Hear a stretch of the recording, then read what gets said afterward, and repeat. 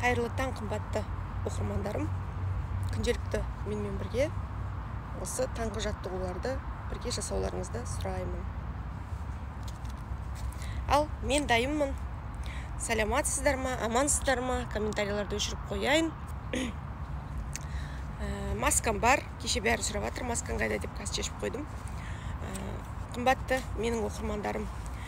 Қыздар әсіресе мен оқитын қыз келіншектер декреттегі аналар ә, мен таңғы жетіде жеті отызда тұрады екен деп егер де сіздің графигіңізға режиміңізға жеті отызда сәйкес келмесе өзіңізді қатты қинамаңыздар. Әйел адам в общем қиналмау керек. Мен өзімді қанша жыл бойы былай қинап таңертең тұрғызып себебі менде алты бала бар себебі менде күйеуім жұмысым барлық жұмыстарым бар. Мысалы ә, бұл жаттығулардың бұл психологиялық жаттығулардың сіздерді оятатынының себебі ә, жас қыздар әсіресе күйеуге шыққысы келген қыздар ояныңыздар тұрыңыздар. Егер де ә, қиын жаңағындай бес баламен үш баламен қиналып отырсаңыздар мысалы бүгін бұрын 11-де тұрсаңыз кішкене онда тұрып тыңдаңыз. Онда тұрсаңыз тоғызда тұрып тыңдаңыз. Бір ақ сағатқа пока режиміңізді өзгертіңіз. Себебі мына ми деген мысалы сіз жеті, жеті сағат жеті жарымда екі күн тұрарсыз үш күн тұрарсыз. Егер де ол сізге өте қиын болса сіз тұрмай қоясыз. Бұл тек сізді кішкене ә, алдыға қарай жігерлендіру кішкене өсіру кішкене өзіңізді шыңдау. Сондықтан қатты қиналып ойбай құралай жетіде тұрады екен ә, жүгіреді екен астанада деп жүгірудің қажеті жоқ. Өзіңіздің аулаңызға осындай міне мен ағаштардың арасында астанада тура өзіңіздің аулаңызға шыға салыңыз да есіктің алдында. Мына тапсырмаларды орындауға. Бірақ күнделікті өзіңіздің бұрынғы ұйқыңыздан бір сағат ерте ояныңыз. Мысалы бүгін енді менімен жеті отызда оянсаңыз егер күшіңіз болса егер де жарайды мен деген осыған жетемін мен күнде сасып ұйықтап жатқым келмейді мен арықтағым келеді десеңіз егер ол сізге оңай болса сонда ғана ояныңыз. Әйтпесе мысалы бұрын айтып тұрмын ғой жаңа тағы да айтамын онда тұрсаңыз тоғызда тоғызда тұрсаңыз сегізде солай өзіңізді кішкене жаттықтырыңыз. Ешқандай психологиялық миға ә, жаңағы подсознанияға күш әкелмеңіз. Енді қараңыздар бүгіннен бастап мен сіздерге күнделікті әртүрлі тапсырмалар жасайтын боламын. Ә, таңғы эфирге ә, қағаз кішкентай ғана мынандай қағаз сіріңке алып шықсаңыздар ручка алып шықсаңыздар иә? Менімен бірге. Мен кеше айтқан айтылған жоқпын өзім де бүгін алып шығуға ұмытып кетіппін асығып жаңа ә, оянып тез жүгіріп кетіппін. Ертең сіріңке қағаз ручка. Оны бізге не керек? Мындай кішкентай ғана. Бір стикерді алып шықсаңыз да болады. Мысалы күнделікті өзіңіздің негативті бір ойларыңыз болса мысалы қорқыныш мен ауырып қаламын қазіргідей вируспен немесе мамам ауырып қалады немесе ауру әйтеуір аурудан қорқыныш қарыздан қорқыныш. Ә, мысалы мен көп көп жылдар бойы жалқаулығым қызғанышым ә, көре алмаушылық өсек өтірік ә, барлық жаман качестволарымды қағазға жазамын да осындай неде табиғатта далада өртеп сосын андай мусордың қоқыстың жәшігі жатады ғой. Сіз мүмкін паркте шығарсыз мүмкін есіктің алдында благоустроенный квартирада үйдің алдында шығарсыз. Сондай жерге лақтырып тастаңыз. Прям анау жанып кеткенше бүйтіп қарап тұрыңыз. Мысалы өсек өтірік семіздік қызғаншақтық мысалы күйеуін қызған, қызғанатын әйелдер болуы мүмкін. Ә, жалқаулық маубастық ә, ашкөздік. Біз мысалы тамақ сауымыз да тамаққа тоймаймыз өмірі. Сосын қандай бар? Барлық жаман качестволарды жазыңыз жазыңыз жазыңыз да күнделікті біреуін қайталай берсеңіз де болады. Мысалы менде мен айтып тұрмын ғой өмір бақи мен жаңағы толықтық ұйқыбастық мына ұйқы тамақ ә, арзан күлкі дейді ғой осы үшеуін де жаза салсаңыз болады дым таппасаңыз. Барлығын жазып жазып жазып қағазға өртеп лақтырамыз. Күнделікті күнделікті. Осы бір ай менімен бірге марафонға шығатын болсаңыздар бір ай бойы соны жазып жүрсеңіздер болады. Ал енді ә, күн ә, күнге жүгіру техникасын жасап тастасаңыздар болады. Осы неден кейін мен сіздермен шыққаннан кейін күнделікті техникалар дәптерге жазып алыңыздар. Бірақ мен қайталамайтын боламын. Кеше мен күнге қарай жүгіріп оны біз құт тілімде турцияда күнде жасайтынбыз оны энергиясы өте керемет егер нақты жасап жатсаңыздар кешегі эфирлер сақталып тұр телеграм каналымда сақталып тұр. Кіріп жаңағы ә, көре берсеңіздер болады ютубта сақталып тұр. Енді бүгін мен сіздерге әйелдің организмінің жатыры туралы айтқым келіп тұр. Мынау маған өте ұнамай тұр мен былай көргім келіп тұр мына жерге былай қойып қояйыншы өзімді көргім келіп тұр былай жақыннан жарық қылдым тұрғысы келмей тұр кешірім сұраймын жаңа вроде бы күшті қылып дайындап қойған сияқты едім эфирдің алдында мына қозғалып кетті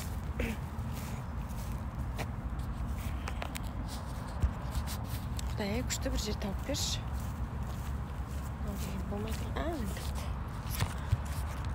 себебі мен қазір жатырды көрсетуім керек? Жатыр деген әйел адамның ең маңызды органы. Ең маңызды ең жаңағы бүкіл ә, жаңағы жақсылықты да жамандықты да біз осы жерге жинап алады екенбіз. Мен дауысымды сұрамаппын да комментарийді қосайын. Дауысым осылай тұрған кезде естіліп тұр ма? Айтыңыздаршы. Комментарийға жазып жіберіңіздерші дауысым естіліп тұр ма естілмей тұр ма дегенді. Мынандай плюс қойып жіберсеңіздер ә, естіліп тұратын болса. Иә дауысың естіліп тұр десе плюс қойыңыздар. Күнге қарап тұрған жақсы екен күнге қарап тұрған. Дауысым осылай жақсы естіліп тұр ғой иә мен себебі осылай қазір айта беремін. Иә естіліп тұр болса онда өшіріп қояйын. Ал енді қараңыздар мына жатыр деген жатыр деген сөзінің өзінен ақ жатыр барлық ақпарат жатады екен осының ішінде. Мен ә, бұрынғы семинарыма қатысқан қыздар болса да білет.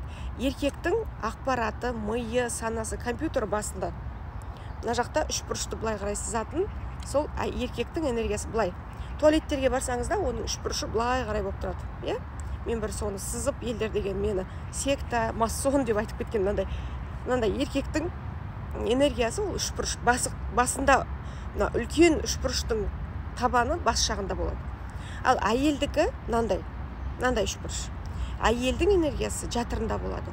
Әйелдің бүкіл ә, жаңағы компьютердағы бүкіл үш жасынан бастап ес білгеннен бастап өзінің бүкіл ақпараты білетін ә, жасайтын жасап жүрген оқиғалары барлық жаңағы білімі ілімі бәрін ә, как энергетический сгусток ретінде жатырында сақтайды екен.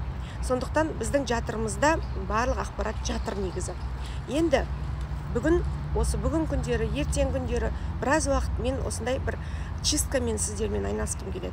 Адам организмін тазалауға адамның ментальды моральды өзінің ә, жаңағы подсознаниясын санасын түп санасын ә, миын ә, тазалағанды жақсы көремін. Бірінші осындай қандай да бір практикалар жасағанда себебі бізде қаншама жылдар бойы қат қат ақпараттар сақталып тұр.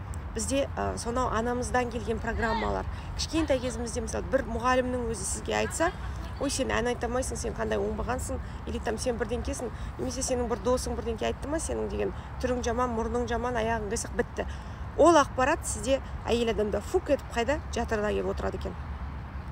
Барлық комплекстар адамның қандай да бір өзіне деген ойлары барлығы әйелдің жатырында орналасады екен. Әйелдің жатыры мысалы қараңыздар әйелдің жатыры тоғыз айда бала көтергенде үлкен қап болып үлкейеді. Ал енді бала туылып болғаннан кейін ол бүйтіп жиырылады бала туған әйелдер біледі біз деген роддомнан шыққаннан кейін окситоцин құйып бізге жаңағыдай кішірейтеді иә?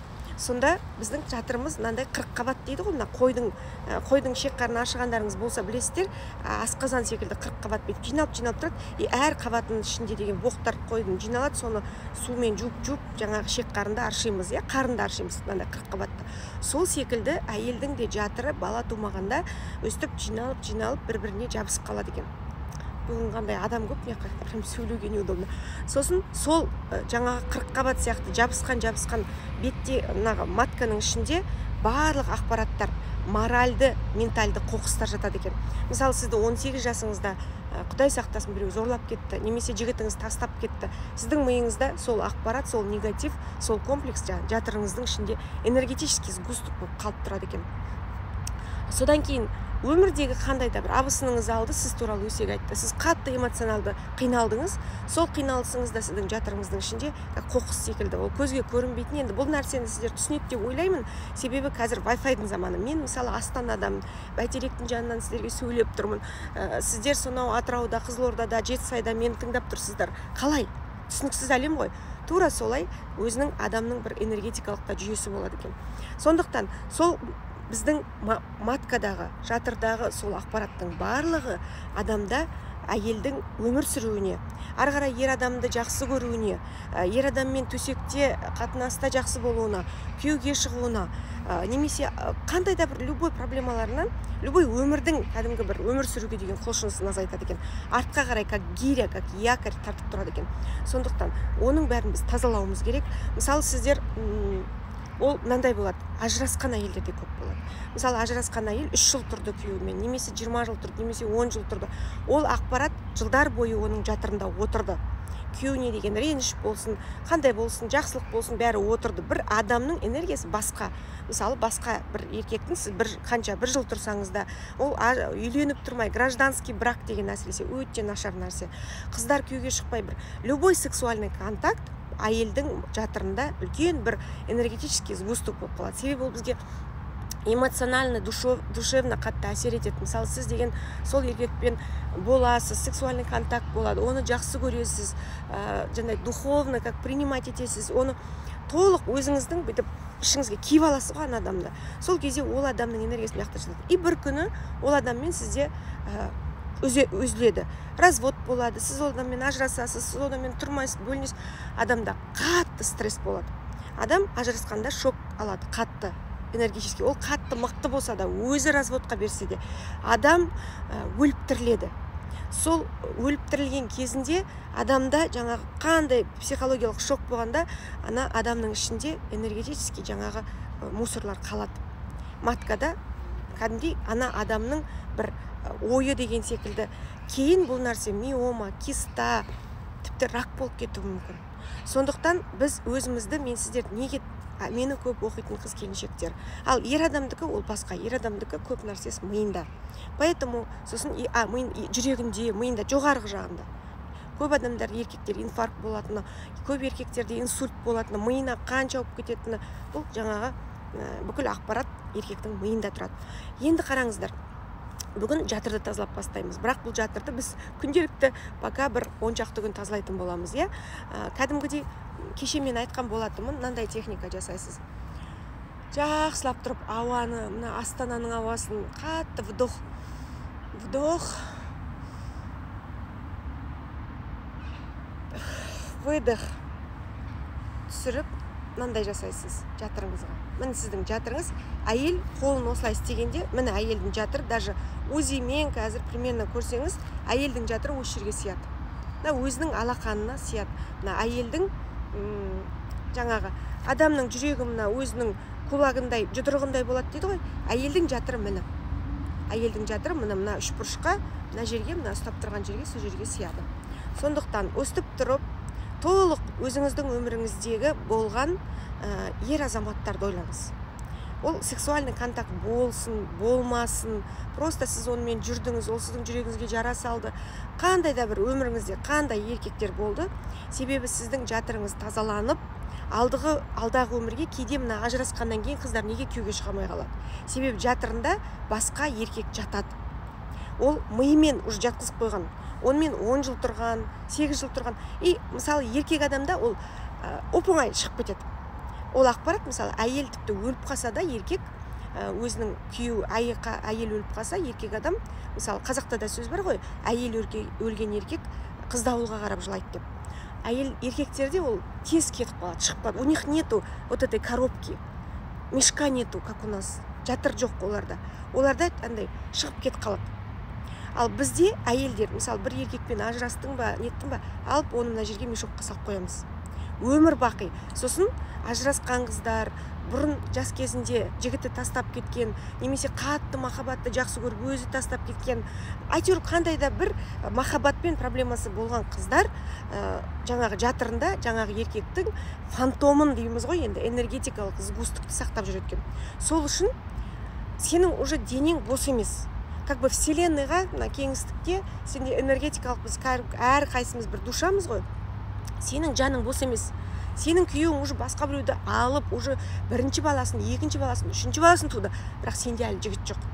Әлі даже бір жігіт саған қарамайды да көше потому что сен көшеде адамдар бір бірін қалай көреді? Біз энергетикалық жан арқылы көреміз бір бірімізді подсознание арқылы көреміз. Мысалы біз әйелдер особенно иә күйеуіміздің қайда кеткенін әсіресе жылдар өте ол кіммен отырғанын какой то бір түйсігімізбен біліп тұрамыз. Интуициямен дейді. Ой ол деген қазір ана біреу қанатпен бірге пиво ішіп жүрген шығар. Ол деген ана жақта бір жақта жүрген шығар. Бізде чувство бір әйелдің изменаны қатты чувствовать етеді әйелдер. Мысалы күйеуі біреуге барып изменять етті ма оны уже үйде біліп отырады. Себебі бізде сол түйсік бар иә? Бізде сол нәрсе бар. Біз адамдар бір бірімізді как антенна подсознательном уровне білеміз. Сонда енді сіз өмір бақи ана еркекті подсознательном уровне ішіңізге сақтап жүрсіз энергетикалық. И сізге мысалы жігіттер кездескен кезде сізге қарайды да күйеуі бар әйелге сияқты қарайды. Как будто сіз бос емес. Сіздің миыңыз денеңіз бос емес. И жігіттер сізді алмайды қарамайды көрмейді. Мысалы ә, мен алдында бір ә, передачада умная дурочка дегенді айтып басым бәлеге қалып быт шытым шығып мені деген бүкіл ә, осы желіде әлеуметтік желіде түте түтемді шығарып тастады. Мен ол кезде не айтқым келген? Адам мына әйел адам біз өте серьезно қабылдаймыз көп нәрсені. Мен жаңағы мысалы ә, шынымен дурочкалар күйеуге шығып кетеді тез. Байқасаңыздар мысалы охо! деп жүрген көтені былай емшек былай ол алады да күйеуге тез шығып кетеді. Неліктен? Серьезность денеді ол өзінің бүкіл ақпаратын мысленно эмоционалды ақпаратын жатырына сақтамайды. Ол прям шығарып тастайды да еху и все бір жігіт екі жігіт очередь тұрады ол. Бір күн алады да күйеуге шыға салады бір күйеуден шықса екіншісіне шығады. Екіншісі кетсе үшіншісіне шығады. Үшіншісі кетсе вообще төртіншісіне шығады. Себебі у нее прям мына миында ешқандай ақпарат жоқ. Ол өзінің ішіне жаңа ментальды мусорды басқа бір адамдардың жаңағы энергетикалық зуғыз несін салып алған жоқ. Она легкая. Былай қарасаң шынымен ана тупая деп те айтасың. Ту мынаның вообще ми жоқ қой дейсің. Үш рет күйеуге шықты бес рет күйеуге шықты. Легкая. Себебі жоқ ода ол нәрсе. Сондықтан біз жаңағы жылап еңіреп оны ойлаған сайын ана энергия біздің жатырымызға кіріп кеткен. Ой мені тастап кетті анау бір бала туды менің бұрынғы күйеуім екінші баласын туды он успешен он процветает. А сен мына жақта чахнешь өліп иә? Давайте дайындаламыз өзіңізді прям энергетикалық ішіңізден бүкіл нәрсенің бәрін мына бала туған әйелдер біледі. Кәдімгі мысленно жасалынады. Бұның бәрі визуально жасалынады. Ә, ешқандай бұл жерде ширк жоқ ешқандай бұл жерде секта жоқ. Бұл кәдімгі психологиялық адамды өсіретін техникалар. Кәдімгі психология. Кәдімгі көзіңізді жұмыңыз. Жаңа мен айттым ғой былай. Вдох. Выдох. Жатырға қолымызды қойдық. Мына төменгі мына жерге қойыңыз. Жатырға қойдық. Енді көзіңізді жұмыңыз да сонау о бастан тіпті мектептің қабырғасынан. Кім сізге прям жүрегіңізге махаббат эмоция ерекше бір сезімдер берді? И тіпті сексуальный контакт болса тіпті сізге оны жасау керек. Себебі сексуальный контакт болған кезде ең мына өмірдегі әйел мен еркектің қатты әсер ететін бір біріне контакт ол деген адамның бүкіл энергиясы бірге батып кетеді бір біріне бүйтіп. Мына екі жарты бір бүтін дейді ғой бүйтіп фук кіріп кетеді. И сол контакт сізде болса мысленно жаңағы адамның фантомын елестетіңіз. И прям мына бала туған әйелдер біледі как будто туып тастаңыз. Прям вдох и прям мына күшеніп жатып тастаңыз. Енді бала тумаған қыздарды білмеймін қалай енді представлять етесіздер. Кәдімгі бала туған сияқты но енді по большому отырасыз. Тура кәдімгідей вдох жатып тастаңыз. Қолыңыз мына жерде тұрсын. И өзіңіздің жатырыңызды елестетіңіз. Көзіңізді шарп тастаңыз. Үш рет жасасаңыз жетеді. Қатты мынандай ә, мына эмоционалдық мына кәдімгі психологиялық техникаларды өте қатты қиналып жасаудың қажеті жоқ. Мысалы сіз даже ә, қазір екінші күйеумен тұрасыз. Сізде бірінші күйеу болған. Тіпті екінші күйеуіңіз бар болса да сіз онымен қиналып қандай да стресстар ә, депрессиялар ұрысысып бірдеңкелер болып жатса демек сіздің бірінші күйеуіңіздің энергетикалық жаңағы ойы миы оның бір какой то энергиясы сізде тұр. Прям көзіңізге сол бірінші күйеуіңізді елестетіңіз. Даже күйеуімен тұрған әйелде. Мысалы сіз күйеуге шықтыңыз бірақ сізде бұрын қандай да сексуальный контакттар болды. Қазір енді заман ғой бәрін ашық айту керек. Ә, білмеймін енді менің мынандай эфирімнан кейін мен адамдар вообще жек көріп кететін шығар. Бірақ әйелдерге керек қымбатты әйелдер. Бұл мен деген шын айтамын қаншама ел кездім жер кездім кітаптарды кемірдім. Мына жатыр деген нәрсе ол ертең өлтіріп тастайтын адамды сондай мүше. Жатыр мына нелер біледі гинекологтар біледі адамға жатырмен қандай да бір операция болған кезде кесарево сечение болған кезде мына адамда жатырда кішкентай тілік қате кетіп қалса мына адамның бойындағы төрт литр қанды жатыр сорып алады екен. Как губка тәрізді. Бір какой то считанный минуттарда ә, жаңағы әйел өліп кетуі мүмкін екен. Сол үшін жатырды бүкіл жаңағы яйцо дей ма яичниктармен бірге жұлып алады екен кесіп алады. Себебі қорқады мына жатыр как губка. Ол прям андай кішкентай мысалы қолыңды кесіп алсаң ол, ол жерің нетпейді. Қалай айтсам екен? Мысалы тамырды кессең солай болады иә төрт литр қан какой то секундтарда минуттарда шығып кетеді. Сол секілді жатырда тұрған бойы нерв клеткалардан құрылған үлкен тамыр. Ол сондай үлкен бір керемет мүше. Оны кішкене мысалы гинекологтың опыты болмай бірдеңке болып тіліп жіберсе ол деген бүйтіп ағып кесіп қалатын дүние. Сондықтан ана матканы түбімен кесіп мынандай нелерде алып тастайды. Сол үшін мына матка деген бүкіл организмдағы сіз мысалы сексуальный контактқа кіргенде сізге кәдімгідей ә, жаңағындай сезімдер болады барлығы барлығы сол жерге кіреді. Барлық сол жерде тұрады сондықтан бүгін үш ақ рет жасаңыз. Мысалы тіпті сіздің бұрын қазір күйеуіңіз болса да бұрын қандай да бір үйленбеген кезде контакттар болса оның бәрі как то энергетический сгусток болып сол үшін бүкіл шариғатта да біздің религиялардың бәрінде орыс болсын қазағы болсын еврей болсын бәрінде қыздың тазалығын қыздың адалдығын қалаған. Осыны олар сол кезде білген. Қазақ атамыз сол кезде білген текті жердің қызы адалынан бер адалынан бер деп құдайдан сұраған. Себебі неге? Жатыр таза болады. Жатырында басқа энергия жоқ.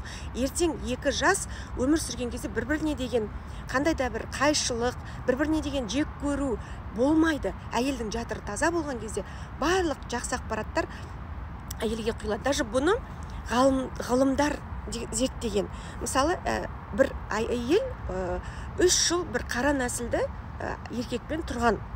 Одан кейін үш жылдан кейін онымен ә, разрывать етіп басқа европейцпен ақ нәсілді еркекпен тұрған. Сонда бала туған. Сол кезде жаңағы ә, баланың бойынан құлағынан алақанынан түрінен қара нәсілді адамның жаңағыдай днк клеткалары кәдімгідей соған ұқсап туған ғой.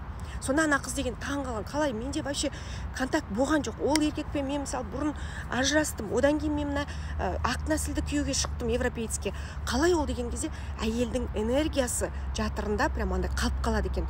Сондықтан біздің егерде эмоциональды қазіргі қатынасыңызда қазіргі сексуальный қатынасыңызда қазіргі өмірлік күйеуіңізбен қатынасыңызда қандай да бір проблемалар болса демек до этого короче былықтырғансыз ғой. Сондықтан осы былықтарымыздың бәрін просто просто кешіріңіз өзіңізге. Бұл мысалы жаңағыдай физикалық түрде әрекет жасасаңыздар мен алдында айтқан болатынмын. Дене деген әрекет ми деген компьютер рух деген ол күш.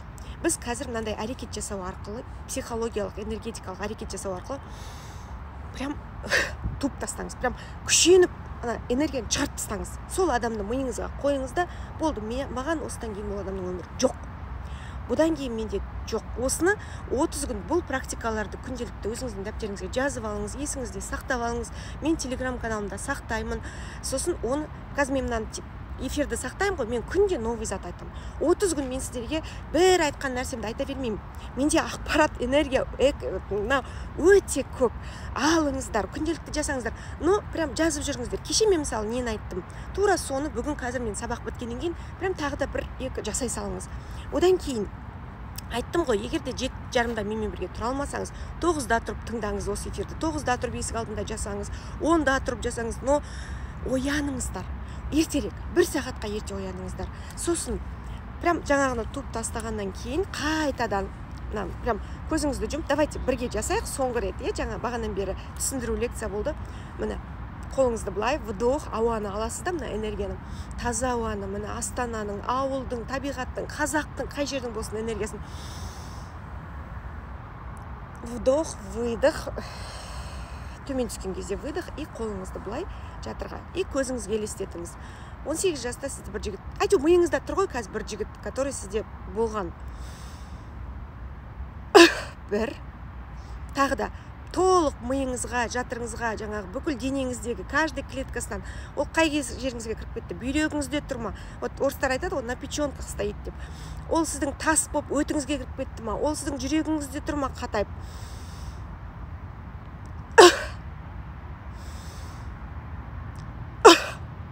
Бүгін мен көбінесе мына ә, сексуальный контактта болған ерлі зайыптылардың қатынасын айтып жатырмын. Тағы да бір он шақты күн осыны жасаған кезде ол тіпті адамның енесі де адамның коллегасы да құрбысы да эмоционалды өміріңізге қандай да әсер етеді адамның мына жүрегіне кіріп кетеді өкпесінде тұрады иә. Оның бәрімен жұмыс істейтін боламыз. Осы жатырмен жұмыс істейтін боламыз. Бүгін осыны жасағаннан кейін жаңа жасап болдыңыз ғой уф деп. Енді вдох шығарып тастаңыз вдох. Выдох. Вдох. Шығарып тастаңыз все тамаша қыздар енді. Жаңағы эфирдің алдында қосылмаған қыздар болса мен сіздерге айтам ертең кішкентай ғана қағаз стикер. И жаңағындай бір ручкамен сіріңке алып шықсаңыздар бүкіл жалқаулық негатив қорқыныш вирус ауру не болсын бүкіл негативті жазамыз да сол айналаңызда жақын жерде болған қоқысқа лақтырып тастаймыз. Все бітті бәтима. Өмір ғажап. Давайте енді аффирмацияларды айтамыз. Мен бармын. Мен баймын. Мен бақыттымын.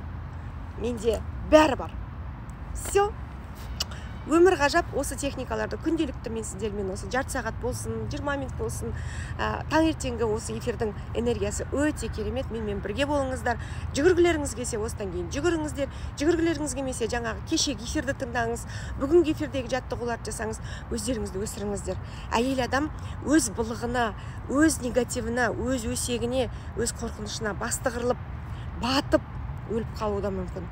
Себебі біздің мына энергиямыз өте күшті. Бізде жеті әйелдің мысалы еркектен біз жеті есе деп айтып жатады. Тоғыз есе біз мықтымыз. Біз өзіміздің негативіміз өзімізді құртып жібереді бізге ешқандай біреудің жолымызды жапқаны бізді дуа оқығаны керегі жоқ. Біз өзіміз ақ өзімізге мықты прокурормыз. Өзімізді өлтіретін мықты жаңағындай шынымен бір оңбаған әйелдеріміз так что бүгіннен бастап ішіңіздегі прокурорды өлтіріңіз өзіңіздің адвокатыңызды оятыңыз. Мына таңғы эфирлер адамның самооценкасын өсіреді таңға оянып кешегіден бір сағат бұрын оянсаңыз какая я прекрасная! Қандай күштімін мен! Қандай керемет құралаймын! Қандай мықты құралаймын! Кәдімгідей өзіңізді өзіңіз жақсы көріңіз өзіңізге соны айтыңыз. Сіздер өте кереметсіздер! Мені оқитын менің оқырмандарым!